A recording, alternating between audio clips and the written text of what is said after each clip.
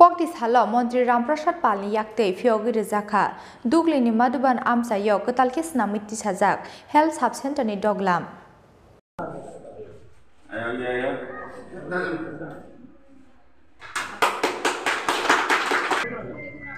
আটটাশো আটটাশো আটটাশো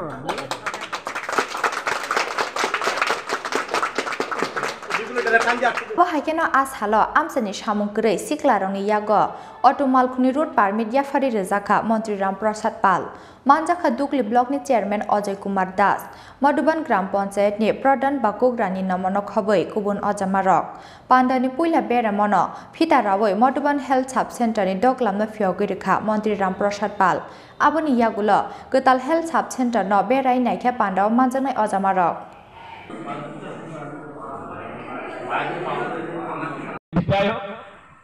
বানানো হয়, কাজ করার জন্য। তো সেই জন্যে আমাদেরও একটু দায়িত্ব থাকে যে এলাকার মানুষের কীভাবে কাজ করা যায়, এলাকার মানুষের চাহিদা কীভাবে মেটানো যায়। আমরা যখন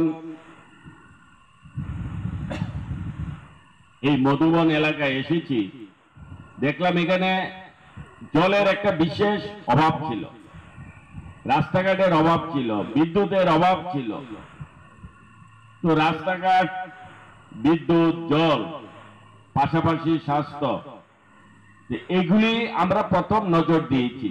যে কীভাবে এলাকার মধ্যে এলাকার মানুষের যে মৌলিক অধিকার, এগুলি হচ্ছে আপনাদের মৌলিক অধিকার এবং এগুলি একটা সরকারের এই কাজগুলি করতে বাধ্য তারা।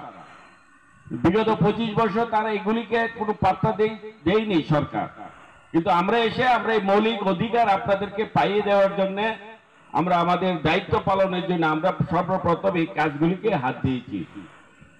আশা করি যে রকম আপনাদের একটা বিশেষ জলের একটা যে একটা বড় সমস্যা ছিল, সেটা আশা করি আপনাদের অনেক সমস্যা দূর হয়েছে।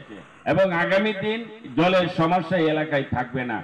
আমরা এটাকে সম্পূর্ণভাবে আপনাদের যেন জলের জন্য যেন কষ্ট না পেতে হয়, তার কাজ সম্পূর্ণ হয়ে যাবে আগামী কিছুদিনের মধ্যে। রাস্তাঘাটের একই অবস্থা ছিল। তো রাস্তাঘাটও আমরা যতটুকু আমাদের এই অল্প সময়ের মধ্যে, এই চার বছরের মধ্যে আমরা যতটুকু করার, আমরা ততটুকু করেছি।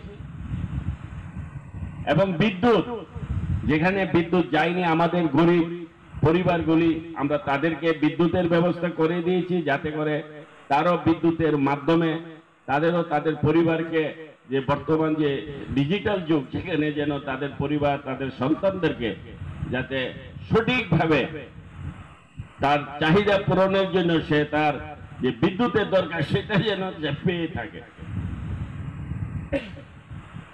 এইভাবে আমাদের সরকারি যে বেনিফিশিয়ারিগুলি আমাদের সরকার কি বলছে?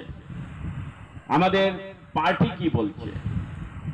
আমরা দেখেছি বিগত দিনে যে এই যে এলাকাটা, মধুবন এলাকা, আমার মনে হয় না আগরতলা শহরের আশেপাশের মধ্যে। এদিকে আমাদের খয়েরপুর আছে, এদিকে বরজলা আছে, যদি গ্রামগুলি ধরি, ওইদিকে প্রতাপগড় আছে, তার মধ্যে আগরতলা শহরের মধ্যে চারটি বিধানসভা আছে। রামনগর আছে বরদলি আছে, বনমালীপুর আছে। আমাদের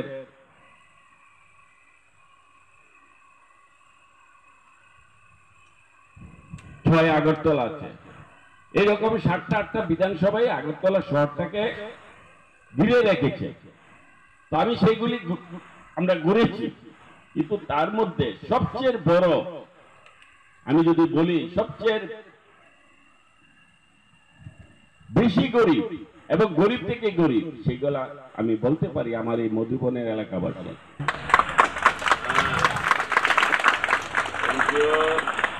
মধুবন গ্রাম পঞ্চায়েত উপপ্রধান রয়েছেন আমাদের যারা আশাকর্মীরা এবং এমপিএসরা রয়েছেন এবং আমাদের যারা বিউরো রিপোর্ট চিনখরাং।